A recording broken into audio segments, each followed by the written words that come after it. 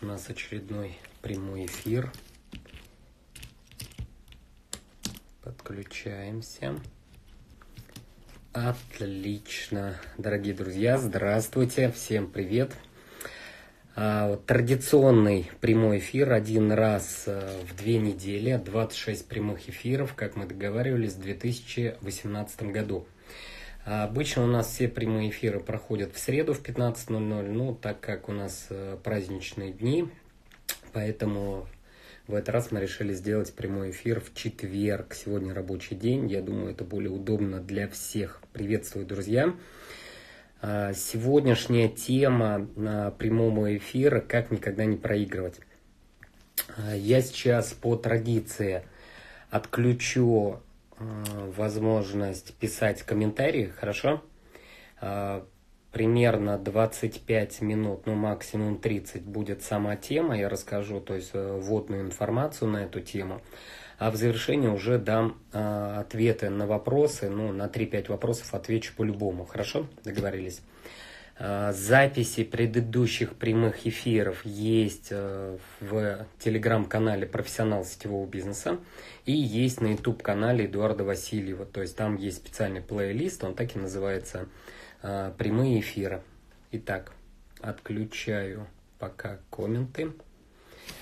Еще раз всем здрасте, меня зовут Эдуард Васильев, я являюсь топовым лидером компании Reflame, сотрудничаю с компанией Reflame уже 17 лет, 18 год, работаем вместе с моей супругой, с Натальей, а, родом я из Чувашии, сейчас э, живем в Москве. В данный момент я нахожусь в Чебоксарах. Вчера только у нас проходила бизнес-встреча с, коман- с ключевой командой в Чебоксарах. 30 а, апреля у нас проходила бизнес-встреча в Нижнем Новгороде. Итак, друзья, сегодняшняя тема «Как никогда не проигрывать». Вот эта вот э, тема, наверное, одна из таких вот фундаментальных, это не тема, которую, может быть, иногда можно измерить э, в каких-то количественных показателях, да, то есть или дать прям жесткую технологию, хотя здесь технология тоже есть, и я сегодня обязательно поделюсь этой технологией. А, но вот наша практика с Натальей показывает, что именно большую часть времени, вот мы как наставники очень часто затрачиваем на то, чтобы вселить уверенность, убежденность Э, в человека, э, чтобы убрать у него, вот, ну, как мы называем в простонародье, да, вот эти так называемые тараканы. Откуда они берутся, эти тараканы? Ну, само собой, это последствия воспитания, последствия того окружения, э, которое было на протяжении всей жизни, и того окружения, которое есть в данный момент сейчас. По поводу «как никогда не проигрывать». Вы знаете, вот когда я задаю этот вопрос, вот как ты считаешь, как никогда не проигрывать? Вообще, ну, первый вариант, да, вообще ничего не делать. Вообще ничего не делать. Быть никем, а, работать нигде, а, не ставить себе никаких целей, а, никогда не заявлять никаких амбициозных задач. То есть тогда ты не будешь никогда проигрывать. Все. То есть ты в серой массе, то есть живешь то есть от дома до работы, до магазина и обратно, ну, это первый вариант, как никогда не проигрывать. Второй вариант, как никогда не проигрывать. Вот тут очень серьезный момент закрадывается, ребят, смотрите. Что такое проигрыш? Вот что такое проигрыш? Вот это очень интересный момент, потому что очень часто а, вот это внутреннее состояние проигрыша у человека появляется, когда мы начинаем сравнивать себя с кем-либо. Вот это вот самая паршивая штука, э, ну, идет от воспитания, я не психолог профессиональный, поэтому в этом очень много закапываться не буду, да, то есть э, как никогда не проигрывать. Первый вариант мы сказали, вообще ничего не делать, не ставить никаких амбициозных целей, быть никем, удалиться из всех социальных сетей, то есть вообще не, быть никем, все, точка, это первый вариант. Второй вариант, как никогда не проигрывать, это соревноваться с самим собой. Вот это очень интересная тема, когда ты начинаешь соревноваться сам с собой. И вот тут, ребят, это не просто какая-то абстрактная штука, я соревнуюсь сам с собой, да? То есть это когда ты определяешь для себя параметры, по которым ты будешь тренироваться.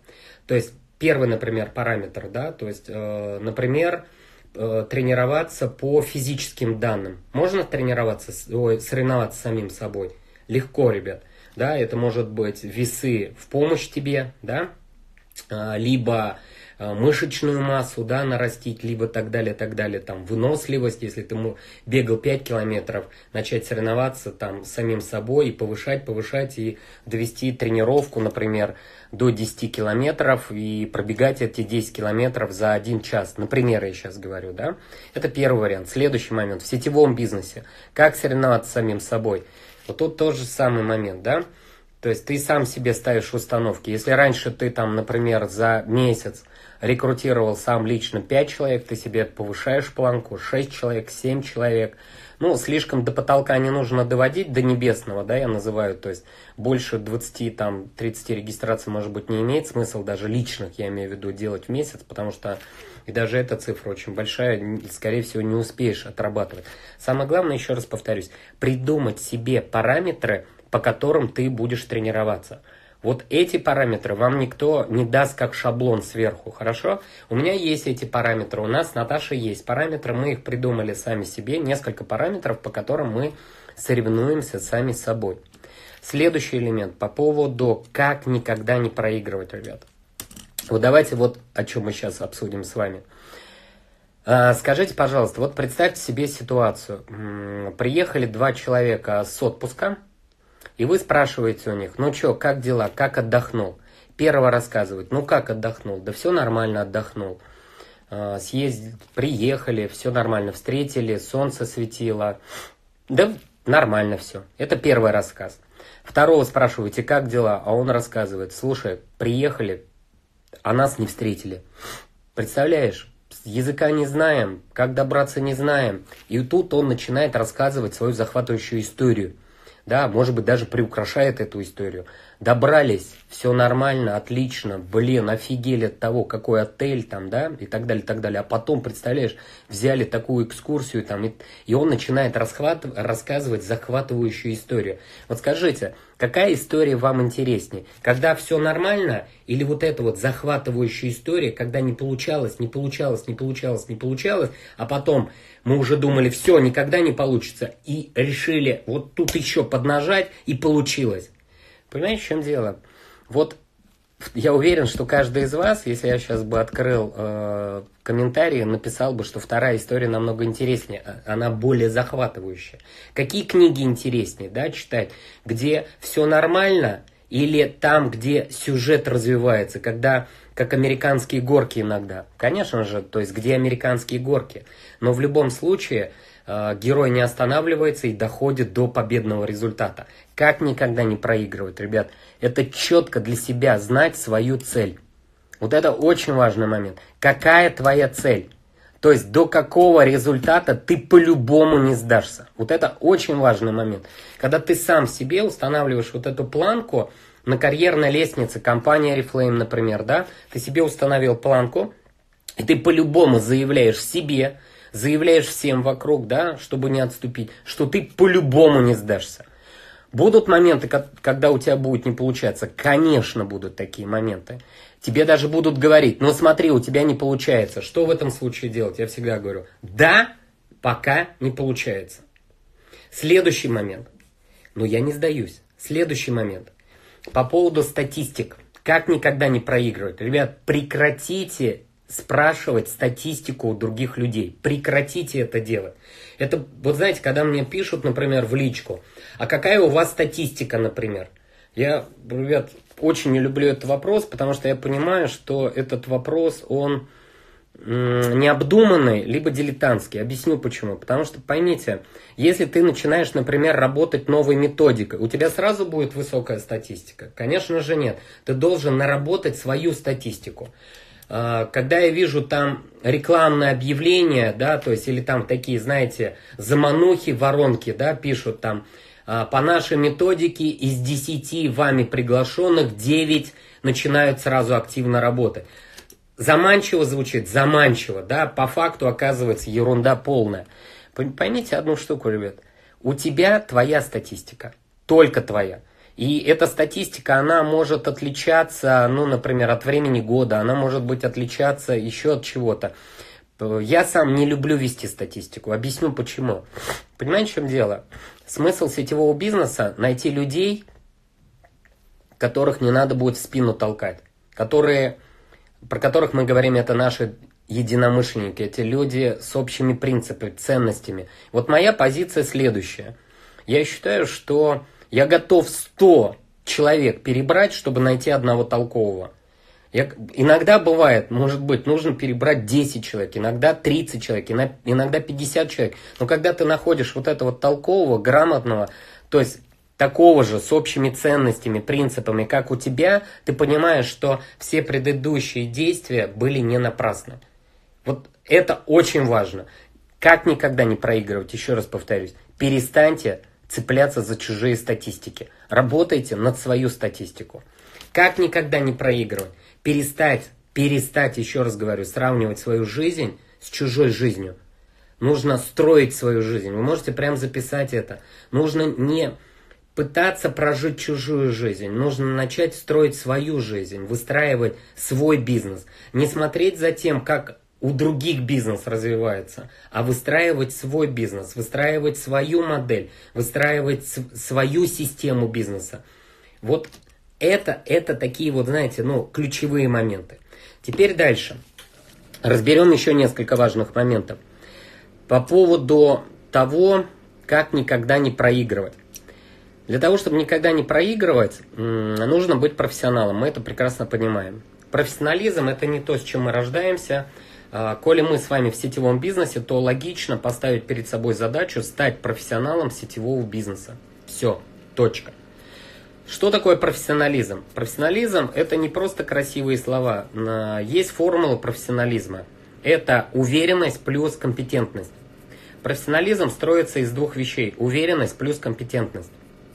Давайте разберем две эти вещи. Вот как вы понимаете слово компетентность? Когда я задаю этот вопрос на большую аудиторию, я слышу такие фразы. Это знание, это там умение и так далее, так далее.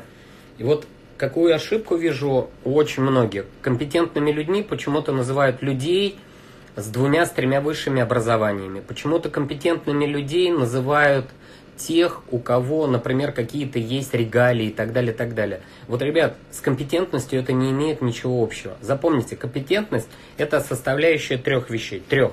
Это знание, плюс умение и плюс результативность. Скажите, пожалуйста, Бывают специалисты, не профессионалы, почему, специалисты. У них есть знания, умения, но они не результативные. Можно ли его назвать компетентным? Ни в коем разе. Понятно, да, идея? Другой момент. Бывают специалисты, которые умеют, они результативные, но у них знаний нет. Они больше практики, объяснить это не могут. Можно их назвать компетентными? Тоже нельзя. Поэтому, понимаете, в чем дело? Компетентность – это составляющая трех факторов – это знание, ты знаешь, да, то есть из чего строится успех, или вот этот навык, это умение. Ты умеешь это делать, и ты, у тебя есть результаты. Вот три вещи, которые делают нас компетентными. И вторая составляющая профессионализма – это уверенность. Что такое уверенность? Вот как вы понимаете, что такое уверенность? Вот какое бы определение слова уверенности дали бы вы? Вот что такое уверенность? Вот самое лучшее определение, которое я знаю, звучит очень просто. Уверенность – это отсутствие сомнения. Еще раз повторюсь, уверен, уверенность – это отсутствие сомнений. А вот что такое сомнение? Сомнение – это чужое мнение.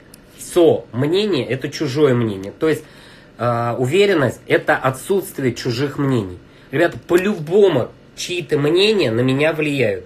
Поэтому только я, Эдуард Васильев, определяю, чьим мнением я позволяю влиять на себя. Вот это очень важно определить, кому вы позволяете влиять на себя. Кто эти люди? Я никогда не позволю, да, то есть человеку э, с улицы или там человеку, которого я не знаю из интернета, повлиять на меня. Понятно, да, идея? Я не буду смотреть даже супер крутые видео какие-то, да, с большим количеством просмотров, но если я знаю, что это видео не может позитивно на меня повлиять. Услышали идею? Поэтому я позволяю влиять конкретным людям. Например, я позволяю влиять на себя Владимиру Полежаеву, Тамиле и Владимиру Полежаевым я я позволяю влиять на себя. Понимаете, да, в чем дело? Есть люди, кому я позволяю влиять на себя. Поэтому вам нужно четко для себя определить, то есть кто это люди, кому, кому вы позволяете влиять на себя. Еще раз повторюсь, уверенность – это отсутствие со-мнений. Со-мнение – это чужое мнение. Вот теперь давайте соберем вот это все воедино. Что такое профессионализм? Это уверенность, теперь вы понимаете, что это такое, плюс компетентность. Вот теперь скажите, пожалуйста, может ли профессионал когда-нибудь проиграть?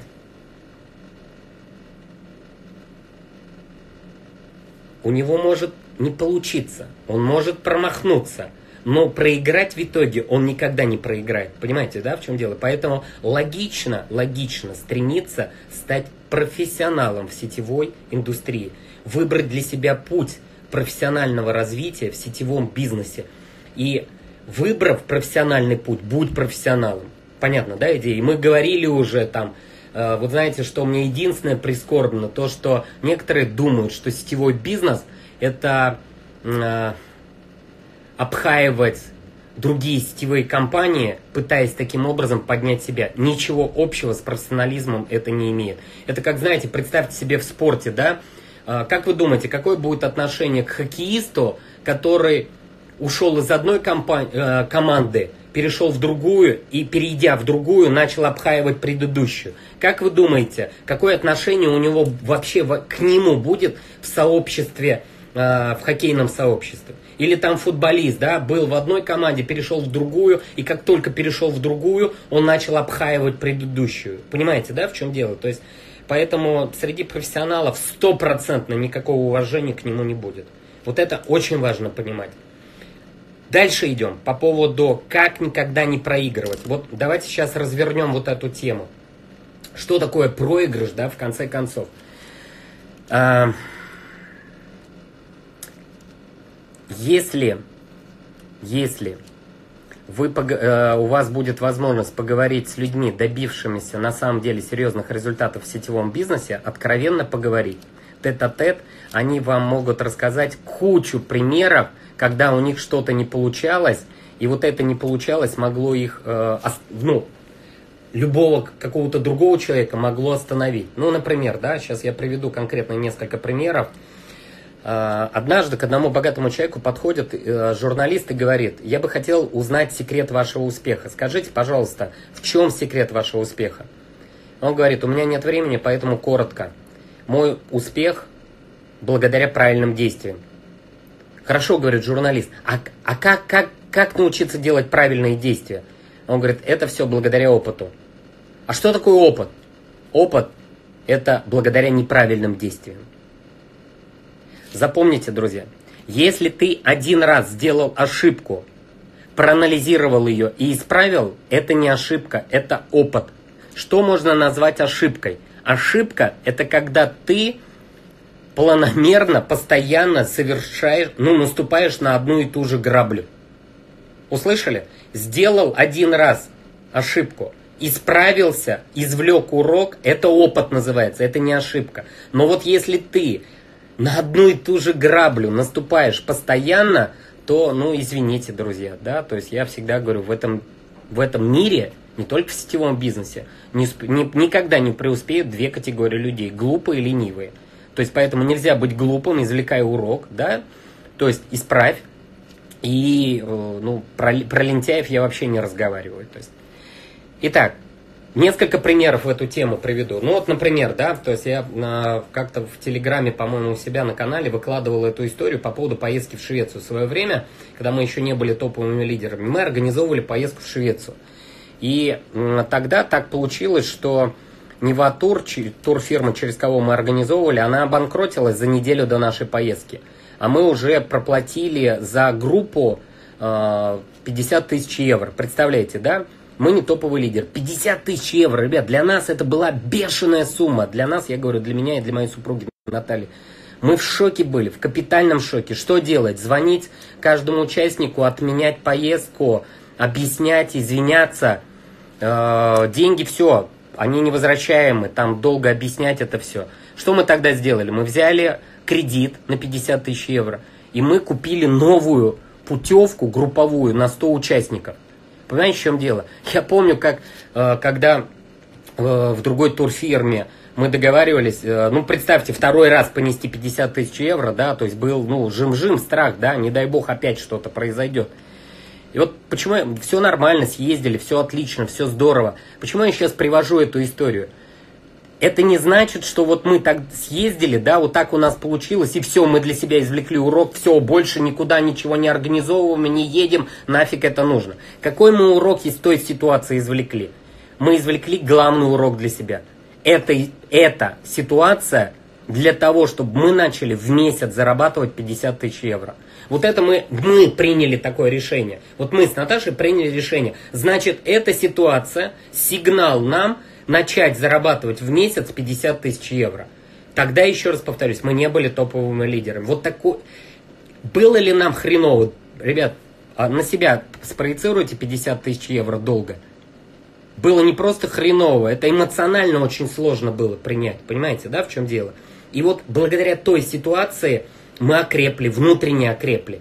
И после этого сделали несколько еще поездок в Швецию. Сейчас, кстати, организовываем поездку в Швецию.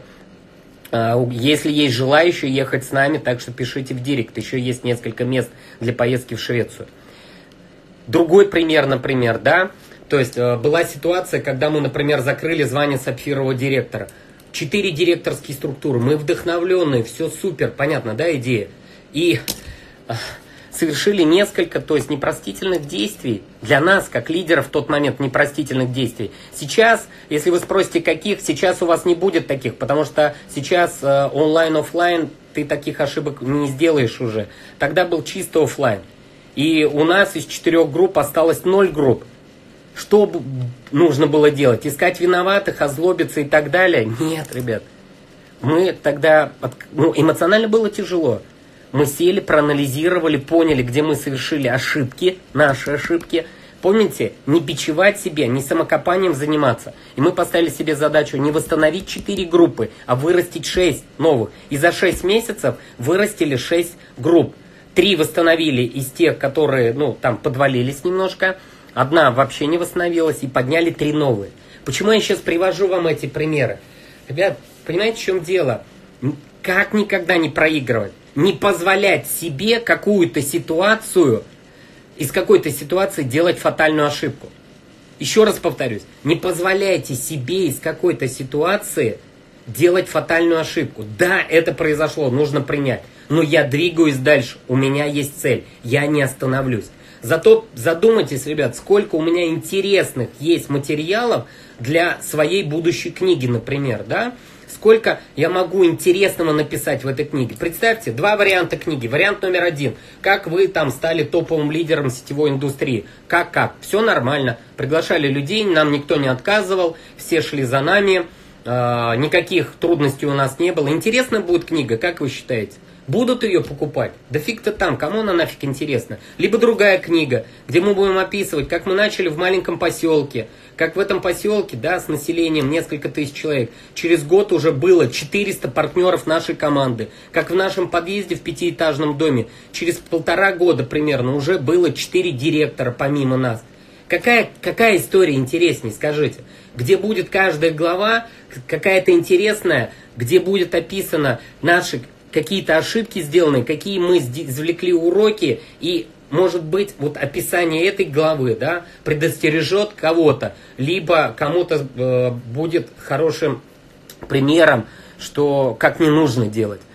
Понимаете, вот, вот это называется как никогда не проигрывать. Не позволять себе ни из одной ситуации делать вот фатал, да, то есть, чтобы не было вот этого, ребят, не позволяйте себе, все, значит, мне не дано, значит, это такая вот у меня судьба и так далее, так далее. Перестаньте вот этим заниматься. Есть цель, да, произошла эта ситуация, извлекаем урок, проанализировали, все, впредь я так больше не буду поступать, делаю по-другому. Все, если нужно где-то перед кем-то, извинились, если нужно где-то, да, то есть извините себя, извини, попросите извинения там у команды, у наставников, у коллег, еще у кого-то. Все, отпустите все и не тащите с собой вперед ни обиды, ни злобу, ни зависть, никакие вот эти вот, знаете, ненужные эмоции, которые, ну, сто процентов не делают нас сильными. Это однозначно. Итак, следующий момент. Следующий момент. А, какая есть засада? А, обращали внимание, вот у меня, например, да, вот раньше была выработана вот такая технология. Уверенность, вернее, успе, если есть успех, у меня есть уверенность. Если у меня нет успеха, у меня нет уверенности. Вот, ну, я был так воспитан. И большинство, я уверен, в обществе у нас так воспитано. Если есть успех, я уверен, то я молодец. Если у меня нет успеха, я не уверен. Если, смотрите, у меня большой успех, у меня большая уверенность, большой энтузиазм. Если у меня большой неуспех, то у меня большая неуверенность и большая, извините меня, же. Скажите, пожалуйста, а уверенность, она когда нужнее? Когда у тебя успех или когда у тебя не успех? Вот когда я задаю этот вопрос, мне все говорят, уверенность нужна, когда не успех. Ребят, ломайте вот эту закономерность. К чему я говорю этот момент? Вот смотрите, а, я очень часто вижу людей, которые, когда у них успех, они там визжат, кричат от счастья, а когда у них не успех, они начинают плакать, мужики бухать начинают. Вот знаете, чему меня а, отец в будущем, ну, ну, ну а, когда я уже начал подрастать, начал переучивать. Он мне сказал, Эдуард, запомни, никогда не смей выпивать, если будешь выпивать, когда у тебя что-то идет не так. Ты можешь себя вознаграждать чем-то только в одном случае, если у тебя ну, какой-то успех. Понятно, да, идея? Но никогда не позволяй вниманию завладеть тобою, когда у тебя неудача. Ребят, обращали внимание, да, если вы посмотрите внимательно фильмы, вы знаете, что мне бесит в наших фильмах?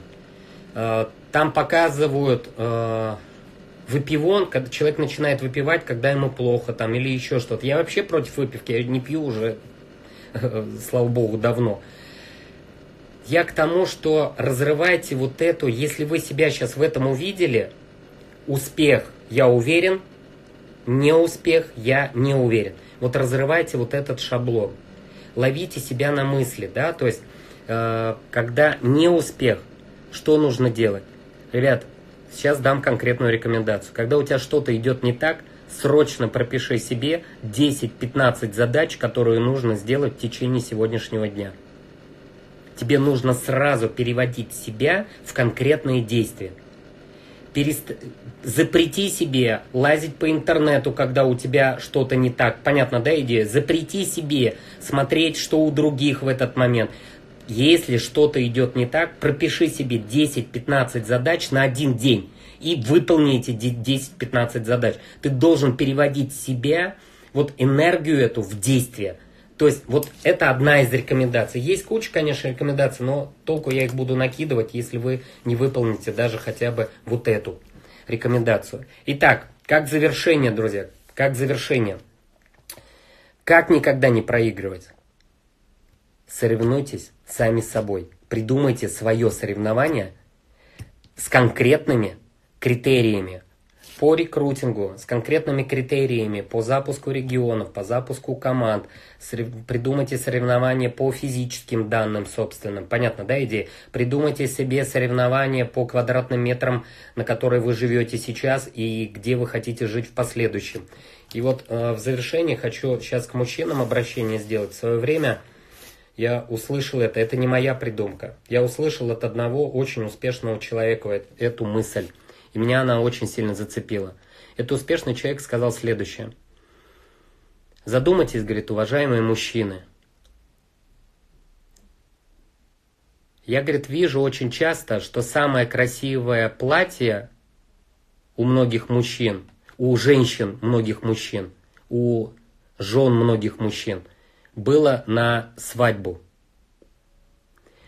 Вот поставьте перед собой задачу, чтобы из года в год вы могли позволять своей любимой женщине покупать платье лучше, чем в прошлые годы.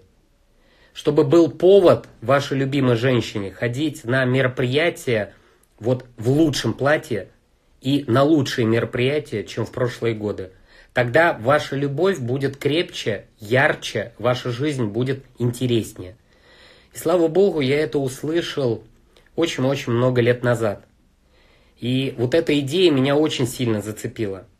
Идея того, чтобы Наталья Васильева, моя супруга, могла позволить себе покупать все лучшие и лучшие платья из года в год, и у нее был повод одевать эти платья на все лучшие и лучшие события в нашей жизни – вот я того же самого желаю абсолютно всем семьям. Я верю, что чем больше будет семей, семейных пар в сетевом бизнесе, тем крепче будет наша страна. Я в это очень сильно верю.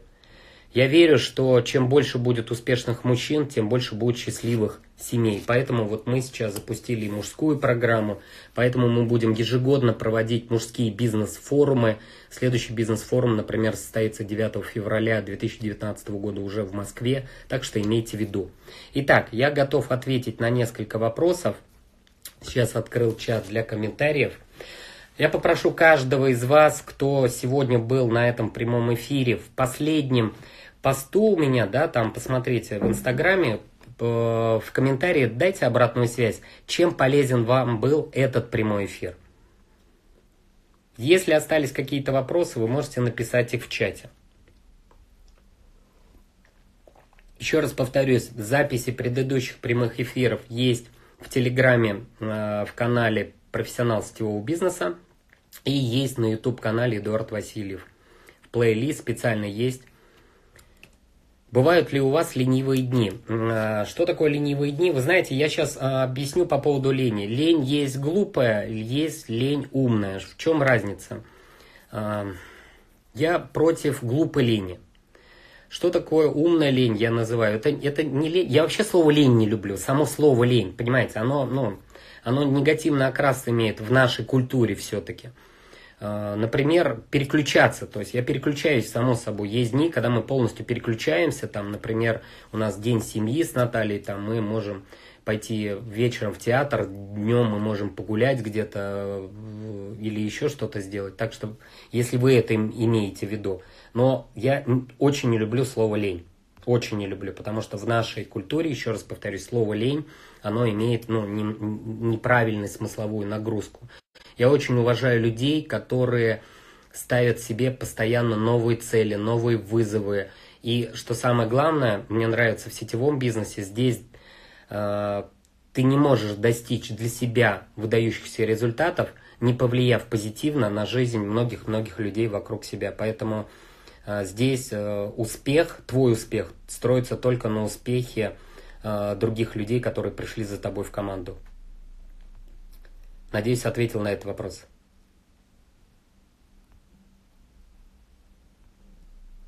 Спасибо. Что вы делали, когда достигали своей цели? Uh, у нас был один uh, момент, это звание бриллиантового директора, когда мы достигли, и у нас не было другой большой планки. То есть вот это была засада, мы попали немножко тогда в яму. А, и какое-то время мы для себя формулировали новые, не то что цели даже, да, то есть э, новые вызовы, новые задачи. Поэтому сейчас, например, мы, не достигнув одни, одной какой-то большой цели, мы уже намечаем себе другую. Ну и вообще у нас уже много лет есть культура. Каждый Новый год мы начинаем с прописывания 100 э, задач на Новый год. Это мы уже делаем, ну, много лет, я уже сбился со счету, сколько лет. То есть я рекомендую это делать всем.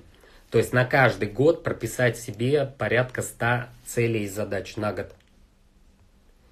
А, на день ставятся задачи, то есть э, конкретные по рекрутингу есть задачи, по работе с новыми партнерами, обучение. Э, в течение дня у меня каждый день тренировки, спорт в том числе входят в ежедневные задачи. Ну вот основные такие вот задачи. Есть видео, как не заниматься самобичеванием. Нет видео такого, как я, по крайней мере, не знаю такого. Э, Все зависит от окружения. Значит, э, в культуре вашего окружения есть понятие жалость. То есть, ребят, запомните, я далеко убегаю от людей, которые начинают пытаться меня жалеть. Почему? Потому что я знаю, что люди, которые жалеют других, они это делают в надежде, что в будущем их пожалеют. Поэтому бегите от этих людей как можно дальше. И не позволяйте себе жалеть других. Все люди сильные. А, проблема с сопровождением, что менять в мышлении, много новичков, мало партнеров и то уходят. Но это тема сопровождения, наверное, это больше не к этой теме.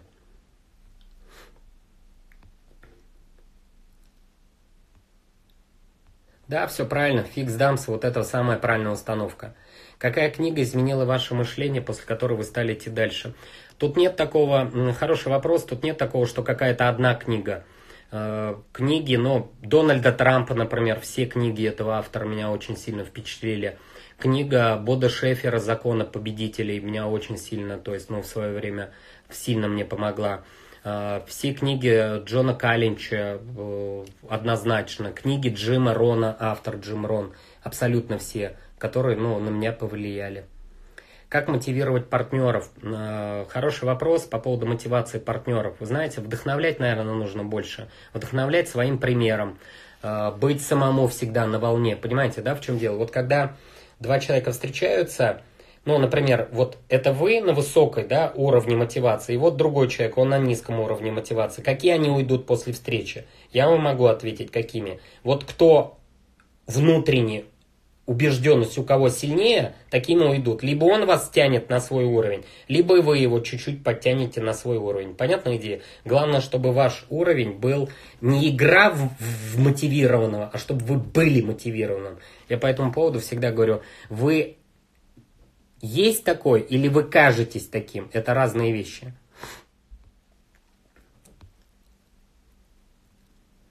Как привлекать именно таких же сильных, идущих к победе людей, как вы притягиваете подобных к вам? Я не знаю, как я притягиваю. Мне кажется, это происходит интуитивно, это происходит на как-то на каком-то информационном, энергетическом уровне. У меня в команде очень много людей, нам вообще очень сильно везет на людей.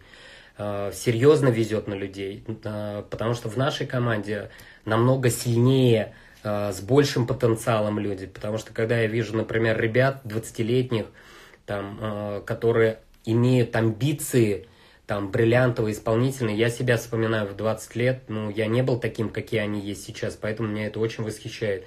Когда я вижу э, людей, у которых трое детей, четверо, пятеро, шестеро детей у нас есть в команде, меня эти люди очень сильно впечатляют. Как раскачать амбиции? Это, их не нужно успокаивать. Их, это, это процесс, который должен быть постоянно.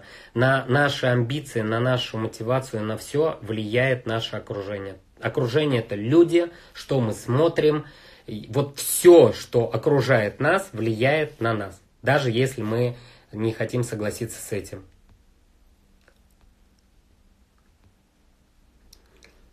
Я по поводу религиозного не знаю, как можно пригласить. Да, по поводу Швеции вопросы, да, то есть несколько. Да, по поводу Швеции можно с разных структур компании Oriflame, поэтому кому интересна поездка в Швецию, пишите в директ, я вам пришлю информацию. Э, там просто нужно поторопиться, то есть у нас э, несколько мест осталось. Пишите в директ, я дам информацию по поводу Швеции. Так, в дни, когда нет внутренней энергии, как заставить себя действовать? Бывают такие дни, ребят, тут не то, что надо заставить себя, еще раз повторюсь, ну, смотрите, вы спланировали день, да, то есть получается, но ну, вы же выполняете этот день. Э, ну, давайте так, вы не думаете, что я 7 дней в неделю, 24 часа в сутках сплю в деловом костюме? Понятная идея, потому что у меня ощущение, что некоторые думают, что Эдуард Васильев спит в костюме презентатора или там спит в костюме Бэтмена. Ребят, ну поняли, да, сейчас мой юмор, о чем я говорю? То есть э, есть режим труда и отдыха в любом случае. То есть, но если у меня на сегодня прописаны вот эти задачи, то я их буду выполнять. Тут, как сказать, тут, скорее всего, наверное, вы имели в виду, э, если у вас нет культуры планирования своего времени, вот это да, вот это засада. То есть утром проснулся, так, что же делать, где взять мотивацию на работу и так далее. Вот это, вот это фигово, ребят. Да, все верно. Компетентность – это умение, вернее, знание, умение и результативность. Книги я посоветовал. По поводу приглашения это отдельная тема. По поводу целей, сколько должно быть, тоже написал. Ну что, дорогие друзья, вопросов очень много. А, еще раз, начните делать хотя бы 2-3 пункта, из которых вы услышали, хорошо? Вот очень часто я встречаю такую ситуацию. Скажите, у кого-нибудь из вас бывало такое? Вот много чего знаю, только не знаю, что делать надо. Знаете это от чего? Пытаетесь себя нагрузить слишком большим количеством информации в надежде, что информация э, поможет тебе преуспеть. Действия меняют действия. Поэтому вот после сегодняшнего эфира возьмите для себя один-два пункта, максимум три, что вы привнесете в свою жизнь. И начните это делать. Уловили, да, идею? Начните просто это делать. Один, два, максимум три пункта. Больше я не рекомендую. Так что вот таким вот образом. Ну что, друзья, я желаю всем нам успехов.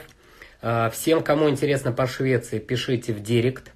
А, каждую э, среду, один раз в две недели прямые эфиры с разными темами, записи предыдущих прямых эфиров э, на канале Telegram «Профессионал сетевого бизнеса» и на канале YouTube в плейлисте. Я желаю всем нам делать свою работу профессионально на том месте, где мы находимся. И запомните, про сетевую индустрию, про имидж сетевой индустрии э, люди начинают думать про индустрию сетевого бизнеса на основе твоего примера. Каждый из нас создает имидж сетевого бизнеса там, где мы работаем. Поэтому я предлагаю каждому из нас делать свою работу профессионально. С уважением к вам, Эдуард Васильев. Всем отличного дня. Пока-пока.